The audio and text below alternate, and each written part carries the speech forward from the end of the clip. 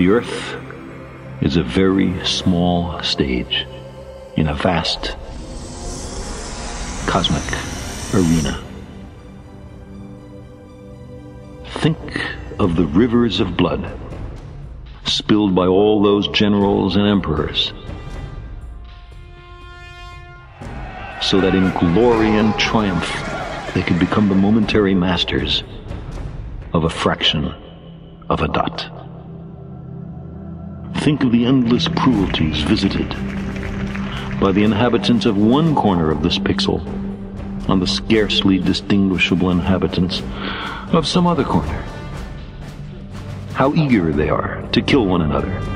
How fervent their hatreds. Our posturings, our imagined self importance. The delusion that we have some privileged position in the universe are challenged by this point of pale light. Our planet is a lonely speck in the great enveloping cosmic dark. In all this vastness, there is no hint that help will come from elsewhere to save us from ourselves. From ourselves.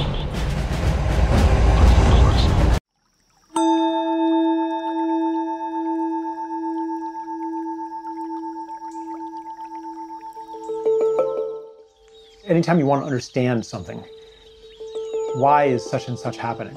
Why is there a biodiversity crisis? Or why are we drilling for more oil when it's polluting the atmosphere and causing oil spills? Why? And you ask why, and down a couple levels of why, you always get to money. All right, let's explore the thinking of Jacque Fresco and the society he'd like to see. The reason we emphasize machines and technology is to free man to pursue the higher things. Machines ought to do the filthy, repetitious, or the boring jobs. To save our environment, our stupidity, our conflict, we've got to reorganize our way of thinking and reconsider our social aims. We must put our mind to this as we do to put a man on the moon. One of the things I talk about is the sense of wrongness that I had as a child. Like, I think most kids ha have some sense of it that it's not supposed to be this way. You know, just for example, that you're not supposed to actually hate Monday and be happy when you don't have to go to school. Like, school should be something that you love, life should be something that you love. Like many kids, uh, when I was six years old, I dreamed of flying in space. I'm old enough that back then the only astronauts were Flash Gordon and Buck Rogers. Watch guards will blast them to pieces before they land. And I went on and became a professional astronomer. I was lucky enough to get selected in the first group of shuttle astronauts. We trained for a long time, and of course, you go through many different types of simulators. But when you're actually sitting up there on the rocket, you realize that, hey, this is not the simulator.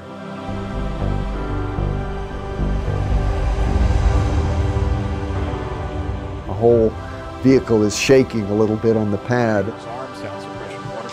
And then you hear this roar down beneath you, and the whole shuttle tilts forward a little bit.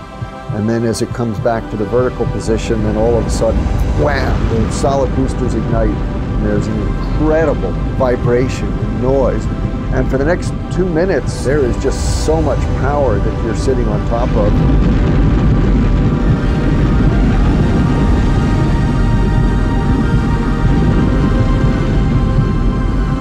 Was just sort of holding on, thinking to myself, whoa, I hope this whole thing holds together. And uh, sure enough, it did.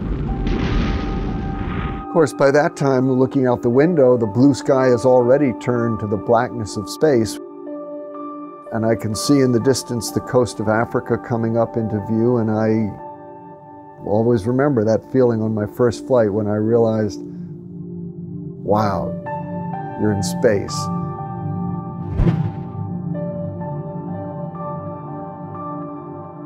You see from orbit the, the sunrises and sunsets 16 times every 24 hours.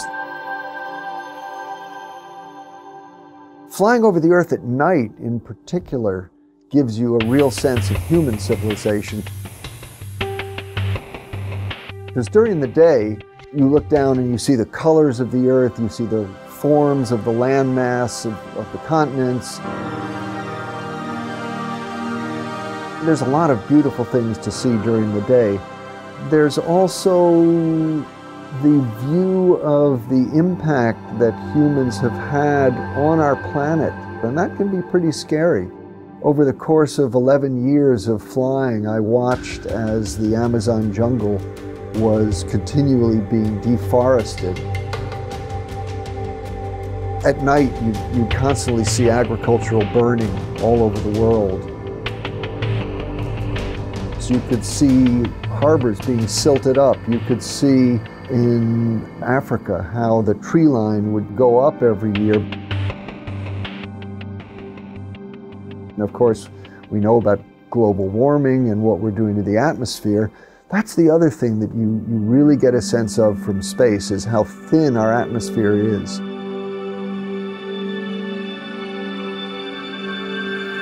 Basically, the idea that we're seeing this environmental damage on the earth created by humans, but we see it from a cosmic perspective, means that it's just not something that we can ignore. The planet is responding to the presence of, of humanity. For the first time, we have the capability, the technology, and the knowledge to achieve a global society of abundance for all. We cannot continue as we are, or the consequences will surely be dire. A 2012 UN report states that a global population growth from 7 billion to almost 9 billion is expected by 2040. Demands for resources will rise exponentially. By 2030, requirements for food are projected to rise by 50%, energy by 45%, and water by 30%. We are presently depleting natural resources 50% faster than their planet can renew. At this rate, it is estimated that we'll need three more planet Earths to keep up with resource needs as they are today. What is the sixth extinction? Is it happening right now? What's the cause of it? What we as human beings are, are doing to the planet, changing the basic conditions of life very dramatically and very rapidly. And yet, from environmental disaster to war, our obsolete value systems perpetuate insanity, threatening us on many fronts.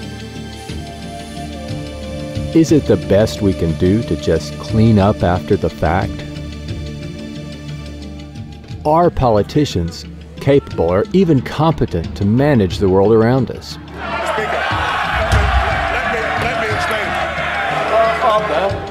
The Prime Minister. Are we simply incapable of anticipating and planning for our future? Are we innately flawed in ways we can't change? Why not just use firing squad? We often hear that human nature is fixed. It's Only human nature. And our worst qualities are inborn. How are they going to stop being criminals? Oh, nonsense. They were born that way, and there's no use trying to change them. But clearly, in humans, learning plays the major role. In fact, I, I refer to humans as the learning animal because humans learn more than any other animal. And yet, considering our history of aggression, warlike tendencies, jealousies, and hatred, we still have much to learn. One would think it impossible to simply overlook the conditions we're immersed in. The culture doesn't know any better. They don't know what forces are involved in shaping human behavior. Therefore, they invent their own concept and project their own values into human behavior and say that's human nature. That's where they're wrong. Right now, we have an, an, explosion of technologies in our culture. And I think many people think that technology is going to save us. Certainly, technology has made our lives easier in many respects. Find parking space. Parking space found. Sometimes it's good, sometimes it's not so good. Drones armed with Hellfire missiles. How would you like to get paid to spy on your neighbors. But there's one technology that we don't have that we that we sorely need if we're going to really change, and that's a technology of behavior. So the science of behavior needs to be applied like sciences of physics, chemistry, and biology have been. That's the one missing, you know, ingredient in in our culture, and um, and that's the toughest one because it opposes the way that most people think about themselves. Examining human behavior in the same manner as any other physical phenomenon will enable us to understand the factors responsible for shaping our attitudes and our conduct. All natural scientists assume that their subject matters uh, are lawful and orderly. I mean, if they're not, then you can't do science. Behavioral scientists assume that human behavior and the behavior of other organisms is also lawful and orderly. To not assume that means that you accept that human behavior is somehow separate from the rest of nature. We don't make that assumption. We make the assumption that human behavior is part of nature. Human behavior is just as lawful as everything else. The sunflower does not turn to the sun. The sun makes it turn by pulling in membranes. A sailboat cannot sail. The wind moves it. Plants can't grow. They are shoved by sunshine, soil, temperature, all kinds of things. All things are shoved by something else. All people are acted upon by other things. Remember, your mother said cup, table, light, papa, mama, over and over again until you did the same thing. Even race hatred is learned. Awakened as the ideals of intolerance and racial superiority are taught to succeeding generations. You can be brought up to hate Afro Americans. You can be brought up to hate Jews, Swedes, all kinds of people. I hate Filipinos. I hate Mexicans. I hate them all. We can raise a Jewish boy in a Nazi culture and becomes a good Nazi. Yeah, I talk a lot about the story of self that every culture has, and it answers the question, what are you? What is it to be human? So it says that you're this separate being among other separate beings in a universe that is separate from yourself as well. Like you're not me, that plant is not me, that's something separate. And this story of self really creates our world. If you're a separate self and there's other separate selves out there and other species out there, and the universe is fundamentally indifferent to you uh, or even hostile, then you definitely want to control. You want to be able to have power over other beings and over these whimsical, arbitrary forces of nature that, that could extinguish you at any time. This story is becoming obsolete. It's becoming no longer true. We don't resonate with it anymore. And it's actually generating crises that are insoluble from the methods of control. And that's what's clearing space, clearing the space for us to step into a new story of self and a new story of the people. A human being is part of the whole called by us universe, a part limited in time and space. He experiences himself, his thoughts, and his feelings as something separated from the rest, a kind of optical delusion of his consciousness. This delusion is a kind of prison for us, restricting us to our personal desires and to affection for a few persons nearest to us. Our task must be to free ourselves from prison by widening our circle of compassion to embrace all living creatures and the whole of nature in its beauty. Albert Einstein.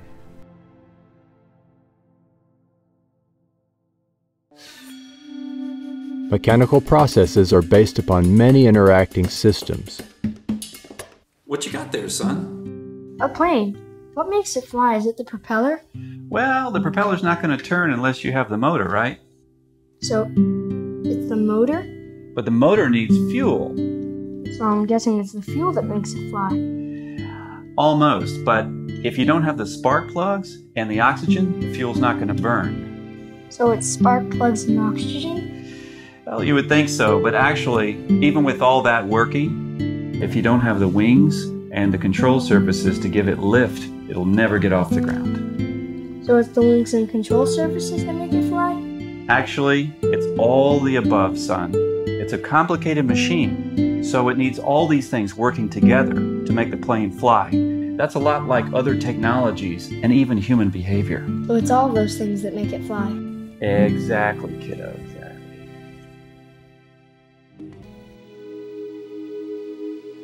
And whose fault is it? It's not the Democrats' fault. And it's all Obama's fault. We don't come to our own conclusions without any outside influences. We don't change our minds. Our minds are changed by events. Heard about them, right, brothers? No. They say they want to build themselves a flying machine. They ain't never gonna be no flying machine. If God wanted them to fly, He would give them wings. Our minds are changed by events. I changed my mind. Yeah, me too. If you're born with a brain that's more effective, faster than the average brain, you become a fascist faster if you're brought up in a fascist environment. A good brain cannot describe that which is significant. A brain has no mechanism of discrimination. Only experimental evidence determines that. If the surroundings that establish our values remain unaltered, in spite of the urgings of poets, priests, and politicians, the same behavior and values will persist. If you tell people that you're not the fish in a certain area, if you don't provide food for those people and the means of living, they will violate those laws. All laws have to coincide with the nature of the physical world. But it isn't the law that prevents crime. It's if you meet the conditions These days, rhino poachers come by helicopter, armed with powerful tranquilizers and a chainsaw. Rhino horn is now worth more than gold. If people are unemployed, they will do whatever they have to do to feed their family. So if you make a law and say that you're not to steal food, they will steal food if that serves their family needs.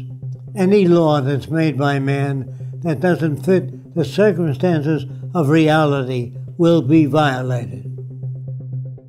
Higher ideals and aspirations that people hope for can't be realized when there is deprivation and war. If you want to go bomb somebody, there's remarkably little discussion about how much it might cost. But when you have a discussion about whether or not we can assist people who are suffering, then suddenly we become very, you know, cost conscious. No culture evaluates human behavior in this way. If they did, they would question what is it that generates greed, bigotry, inequities, and war. They bring you up with the values that put them in power. Unfortunately, all societies to date have indoctrinated people toward values that perpetuate those in power. So, let's investigate the key factors governing the lives of people and nations. Money and the values, behaviors, and consequences it produces. Time and sales data. Split second stat.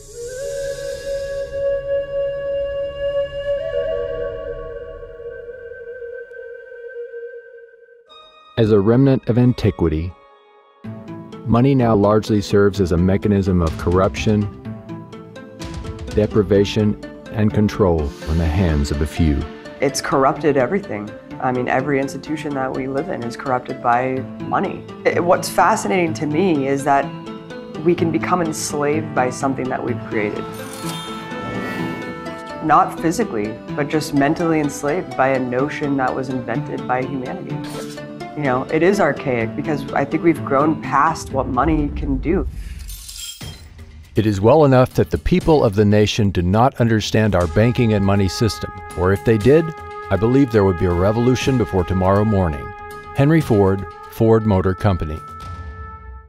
Well, money's an agreement.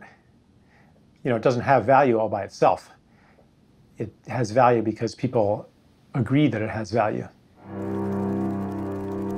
Economists will tell you what money does. It facilitates exchange. You use it to count things and keep track of things. You know, you write some numbers on a magical piece of paper called a check, and you can cause all kinds of abundant goods to come to your house. I mean, you could even cause misery for thousands of people if you are one of the highest initiates of the magic of money. In a desperate attempt to survive, many work multiple jobs. They may steal, lie, or embezzle.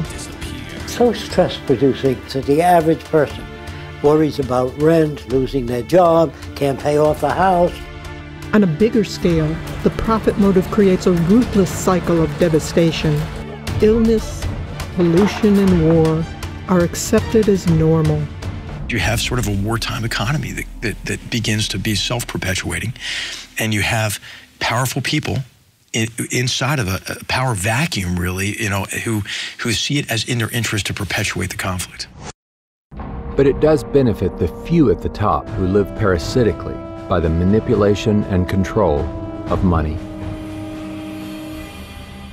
The banking system right now is effectively enslaving individuals, enslaving students, enslaving institutions, and sucking resources from them. They set it up so that there would be private central banks that could charge everybody interest on the currency and allow themselves to get rich without having to do anything. Who's been doing all of this? It's a group of bankers, uh, the Federal Reserve System, that's a private system. The Fed is a private bank owned by private stockholders. Do not let the name Federal fool you. In 1913, which is when Woodrow Wilson allowed the Federal Reserve System legislation to be passed, most of the Congress people had gone home. This legislation turned the central bank system of the United States over to the Federal Reserve Board, making them the only group that could issue Federal Reserve notes or U.S. dollars. President Wilson, he regretted that. He said that he had just sold this country downstream. A great industrial nation is controlled by its system of credit. Our system of credit is concentrated. The growth of the nation, therefore, and all our activities are in the hands of a few men. We have come to be one of the worst ruled, one of the most completely controlled and dominated governments in the civilized world. A government by the opinion and the duress of small groups of dominant men. President Woodrow Wilson, 1916. It's a fiat system that we operate under, and it's actually someone punching numbers on a computer somewhere. That is how we manufacture money today. There's nothing backing it, there's nothing behind it. When government spends more than it collects in taxes and needs money, it does not print its own money, but borrows from the Federal Reserve in exchange for U.S. bonds, which the Fed provides at interest. When people and corporations want money, they go to banks as well. The system is rigged. If a bank buys a $100 bond, the bank gets to lend out 10 times that amount, or $1,000. They created the extra funds from nothing. No money, gold, or anything to back it up. The bank also gets back the loans with interest for all the money lent. Money is created this way from the simple signature of a borrower with the promise to pay it back. And to make matters worse, very often people are paying the amount back many times over due to the interest. This is the process by which individuals, companies, and governments acquire money. It is respectably referred to as fractional reserve lending and is used globally by most other banking systems, keeping people and entire nations in perpetual debt. Scarcity is built into the money system. On the most obvious level, it's because of the way money is created as interest bearing debt. So, anytime a bank lends money into existence or the Federal Reserve creates money, the money comes along with a corresponding amount of debt. And the debt, because there's interest on it, is always greater than the amount of money. So it essentially throws people into competition with each other for never enough money. Growth is another thing that's built into our money system. If you're a bank, you're going to lend to the person who's going to create new goods and services so they can profit and they can pay you back. You're not going to lend to somebody who doesn't create goods and services. So money goes toward those who will create even more of it. But basically, economic growth means that you have to find something that was once nature and make it into a good, or was once a gift relationship and make it into a service. You have to find something that people once got for free, or did for themselves or for each other, and then take it away and sell it back to them somehow. By turning things into commodities, we get cut off from nature in the same ways we're cut off from community. We look at nature with, with eyes of it's just a bunch of stuff. And that leaves us very lonely and leaves us with, with many basic human needs that go unmet. And if you have money, you might try to fulfill this hunger through purchasing, through buying things, or through accumulating money itself. And of course, now we're, we're nearing the end of, of growth. The planet can't sustain much more growth. And that's why the crisis that we have today won't go away. So if you just keep printing dollars with no backing, at a certain point, people lose confidence in the currency. And that's what's happened. The banking system right now is in the business of manufacturing risk by creating debt for individuals and people. And so there is the risk that those people will not pay that debt back. But the liabilities for the risk have been and continue to be assigned to the U.S. taxpayer in the U.S. currency. We're now sitting in a situation where the world's currencies are about to crash. Nobody knows how long it's going to take, but the Federal Reserve System has been printing dollars like there's no tomorrow. You have what is effectively a criminal enterprise based on the manipulation of people's attention, resources, and time in order to extract value from them. They're stealing money from us that way. They're stealing the result of our efforts and our labor. And that is something that has grown uh, as, a, as a cancer on our society. These bankers uh, are all part of uh, a system called the Bank for International Settlements. Most people, even in business and banking, don't understand this bank and its role as, as the BIS. They own 40% of the assets of the 43,000 companies that are traded on the capital markets. The bank runs itself. It has a board of directors which is composed of 15 governors of central banks from around the world. And they pull down 60% of the annual earnings. They bought up all our media, and that media is hoodwinking citizens the media has morphed into just uh, peddling the corporate interests of the money masters that control the political establishment. There's about 118 boards of directors that sit on these five giant media corporations. And they all serve different boards of Monsanto to weapons to food. So when you have all these interests bleeding together, it's that much harder to differentiate what interests you're seeing laid out in the mainstream media. Fair, balanced. If you want to understand power, you have to understand who nominates candidates not understand who votes for candidates. Our system is not a democracy.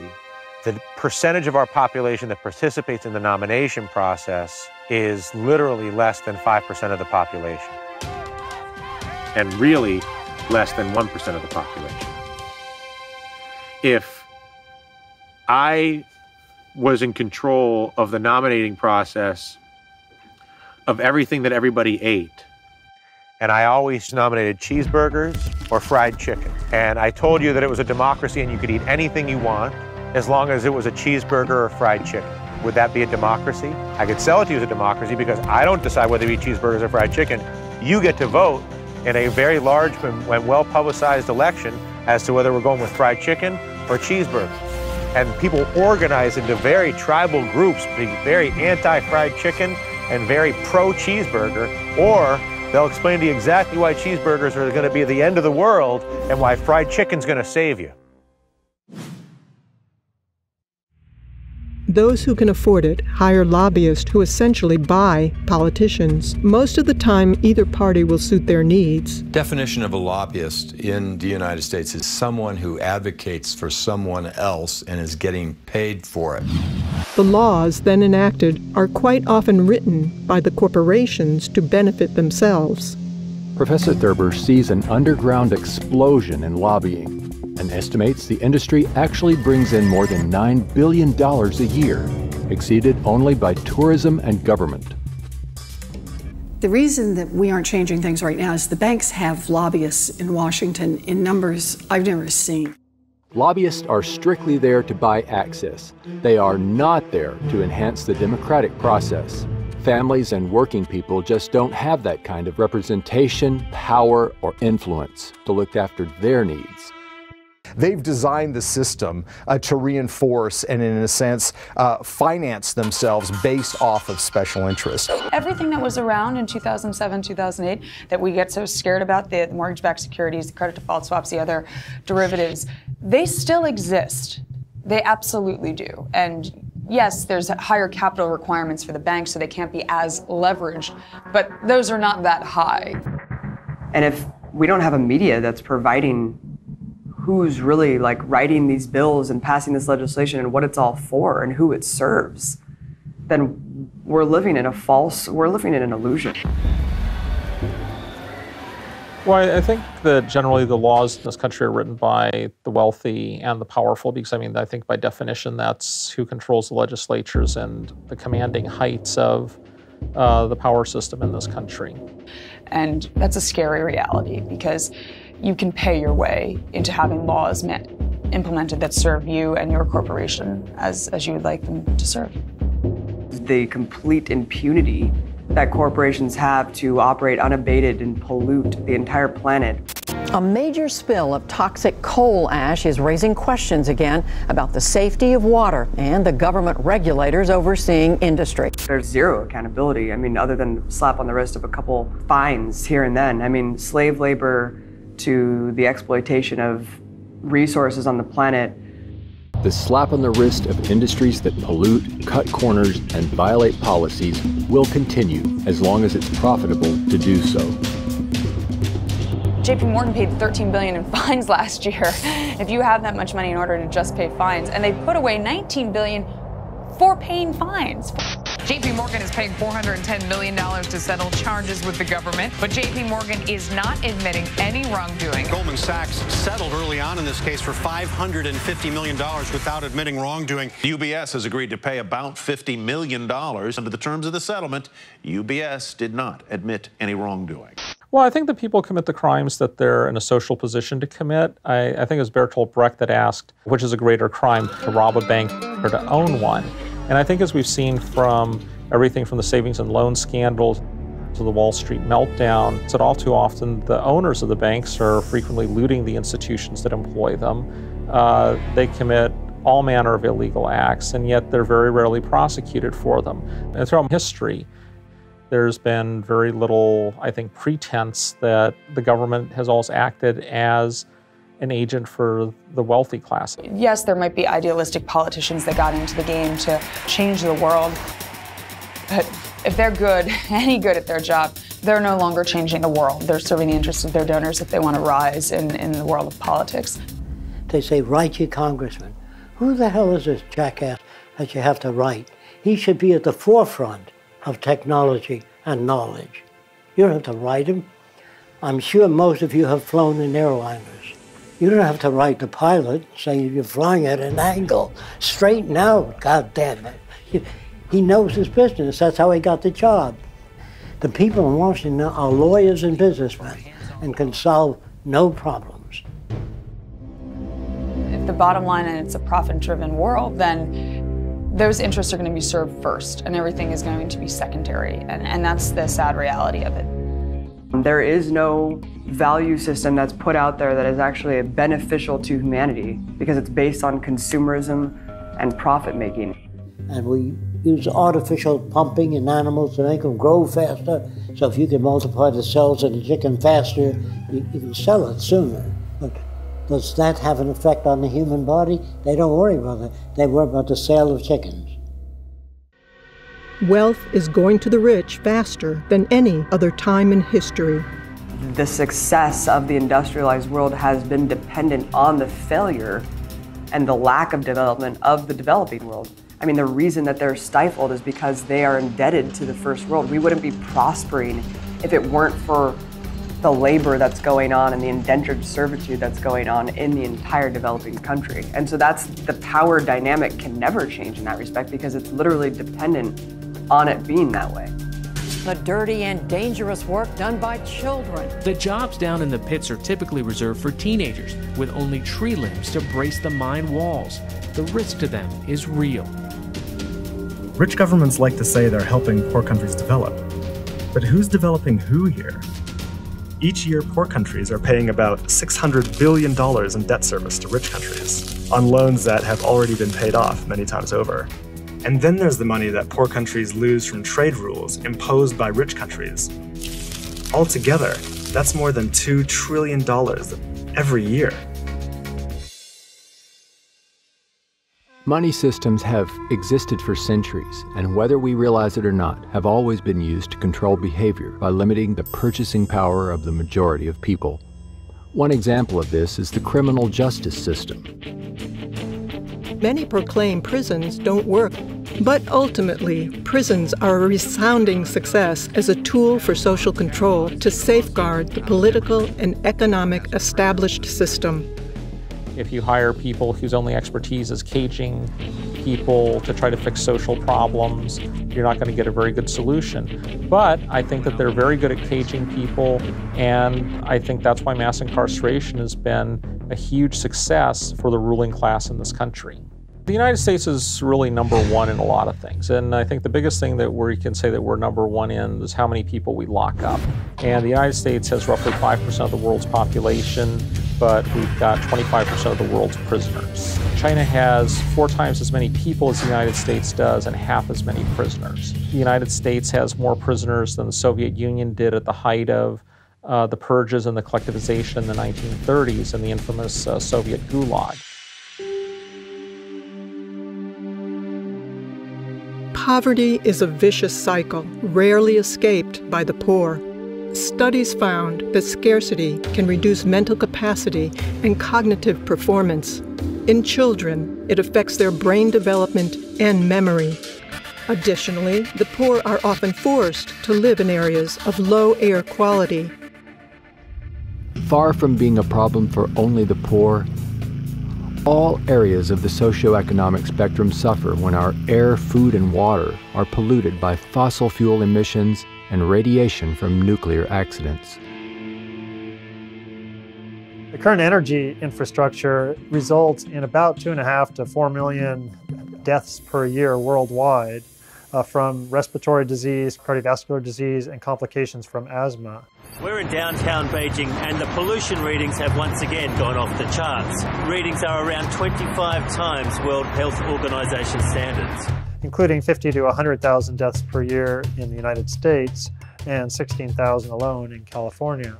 The economic system that we're living in today is destroying the planet because it is based on an unsustainable model. We're seeing proof of that right now. The current energy infrastructure, uh, which has been going on for a long time, uh, has resulted in the accumulation of greenhouse gases and particles that cause warming of the Earth's climate.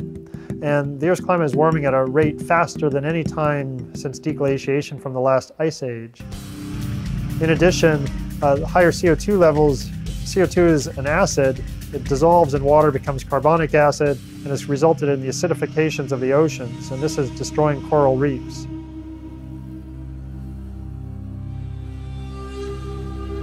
We have to realize our planet does have a certain amount of regenerative power, and there's no question that we've been through numerous worldwide extinctions. We have fossil records of that, and the Earth has recovered.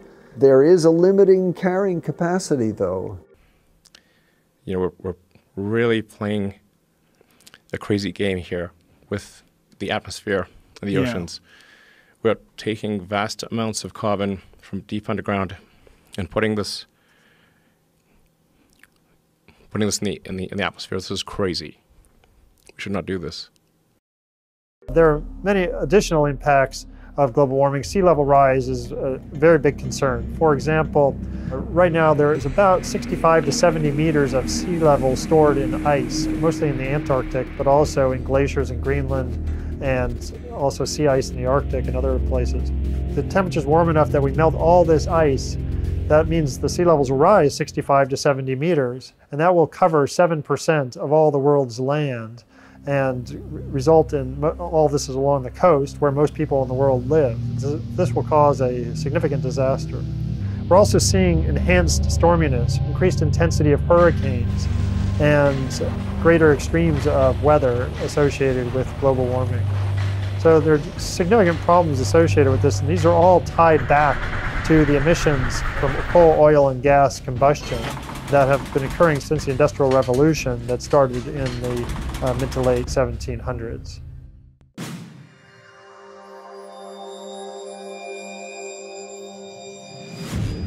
It is probable that war itself could be our undoing, let alone the environment. Our brutal, competitive behaviors are not human nature, but simply a result of scarcity, making us all competitors in the fight to attain what we need to survive. And while scarcity is naturally occurring, it's also intentional in industries and governments for profit and national interest.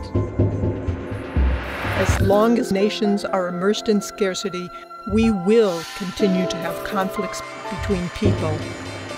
Crimes, murder, and other violence to all out war. The ultimate expression of human stupidity. The ground shook in the U.S. bombardment. Like, bomb the heck out of them. These behaviors must be surpassed if we wish to survive. The bombs on! That's the best recruiting tool for Al Qaeda. This guarantees the cycle of violence will go on. And with our technological ability to provide for all, we must take steps towards a different approach. Or the endless cycle of booms, busts, and war will continue. Oh, no! no Peace hey, in our time. Wait a minute, a ah, minute yeah. ago.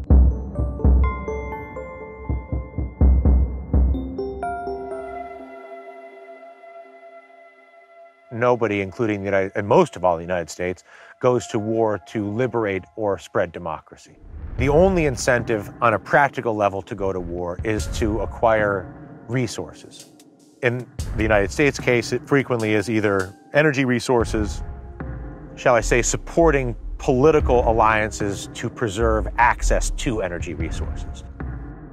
Smedley Butler, a U.S. Marine Corps General Major who was the most decorated Marine at the time of his death, stated it well when he wrote I spent 33 years and four months in active military service, and during that period, I spent most of my time as a high class muscle man for big business, for Wall Street and the bankers. In short, I was a racketeer, a gangster for capitalism I helped make Mexico safe for American oil interests. I helped make Haiti and Cuba a decent place for the National City Bank boys to collect revenues in. I helped in raping of half a dozen Central American republics for the benefit of Wall Street. I helped purify Nicaragua for the International Banking House of Brown Brothers. I brought light to the Dominican Republic for the American sugar interests. I helped make Honduras right for the American fruit companies. In China, I helped see to it that Standard Oil went on its way unmolested. Looking back on it, I might have given Al Capone a few hints. The best that he could do was operate his racket in three districts. I operated on three continents. War is a racket. It always has been. A few profit and the many pay. But there is a way to stop it. You can't end it by disarmament conferences. It can be smashed effectively only by taking the profit out of war. Our universities today are better equipped than ever. The Best microscopes, the best scientific equipment. The bombs are getting worse. The wars are getting worse. Killing is getting worse. You don't need to kill people, bomb cities. There's something wrong with our culture, very wrong. To blame any individual or corporation does not get at the root causes of the problems. The structure of our socio-economic system itself has everyone out to meet their own needs, creating a predatory, competitive environment. Attempting to find solutions to the monumental problems within our present society will only serve as temporary patchwork, prolonging what is quickly becoming an obsolete system.